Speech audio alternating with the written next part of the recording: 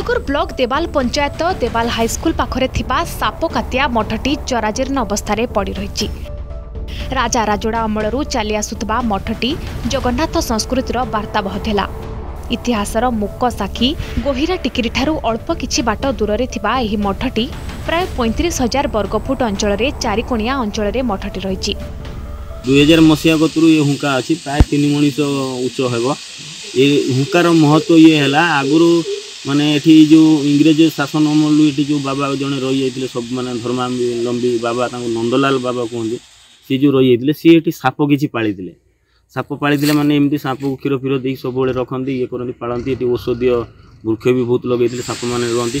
ଯେକୌଣସି ଅନୁପ୍ରବେଶକାରୀ ବିନା ଅନୁମତିରେ ବାବାଙ୍କ ଅନୁମତିରେ ଯଦି କୌଣସି ଫଳ ଫୁଲ ନଷ୍ଟ କରିବାକୁ ଚାହେଁ ତାହେଲେ ସାପ ତାକୁ ଘେରି ଯାଆନ୍ତି। ବାବା କହିଲା ପରେ ସେ ଲୋକକୁ ଛାଡ଼ନ୍ତି ବାବା। ସାପକାତିଆ ମଠରେ ବହୁତ ପ୍ରାଚୀନ ପରମ୍ପରା ରହିଛି। ପ୍ରତିବର୍ଷ ସେଠାରେ ଅନନ୍ତ ବ୍ରତ ଭାଗବତ ଜନ୍ମ ବିଭିନ୍ନ ରକମ ଅନୁଷ୍ଠାନ ଅଛି। ଗୋଟେ ଟ୍ରଷ୍ଟି ରହିଛି ମଧ୍ୟ ସେଠି।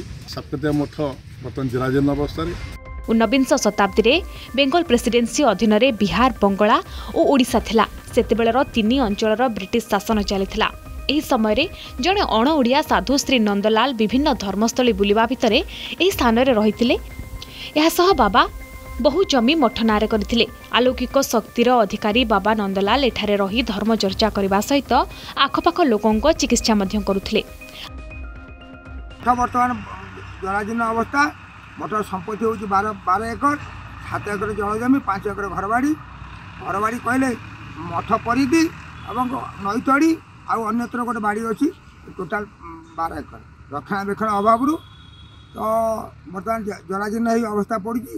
ବର୍ତ୍ତମାନ ସେ ସମ୍ପତ୍ତି ଗୁଡ଼ାକ ସରକାର ହାତକୁ ଚାଲିଯିବାର ବ୍ୟବସ୍ଥା ହେଲାଣି ବ୍ୟବବନ୍ଦୋବସ୍ତ ହେଇ ପଡ଼ି ରହିଛି ଆଉ ତାକୁ କେହି ଅଣଦେଖା ଦୁଃଖ ଏବଂ ବିଡ଼ମ୍ବନାର କଥା ହେଉଛି ଯେ ସରକାର ସବୁଆଡ଼େ ମଠ ମନ୍ଦିରର ଉନ୍ନତି ପାଇଁ ମସଜିଦ୍ ଗିର୍ଜାର ଉନ୍ନତି ପାଇଁ ଚିନ୍ତା କରୁଥିଲା ବେଳେ ଐତିହାସିକ ସାପକାତିଆ ମଠ ସେଥିରୁ ବଞ୍ଚିତ ହେଇଛି ଅବହେଳିତ ହେଇଛି ମୁଁ ନିବେଦନ କରିବି ସରକାରଙ୍କୁ ସବୁଆଡ଼େ ଯେମିତି ଉନ୍ନତିକରଣ କରାଯାଉଛି ନବୀକରଣ କରାଯାଉଛି ସାପକାତିଆ ମଠ କଥା ଚିନ୍ତା କରାଯାଉ ଏବଂ ତାର ନବୀକରଣ କରାଯାଉ।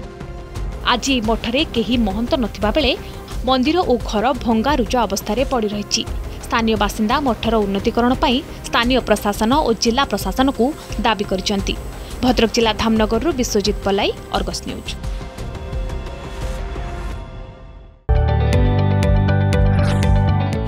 जदि आपण को आम भिडी भल लगा तेब आम चैनल को लाइक शेयर और सब्सक्राइब करने को जमा भी भूलु नहीं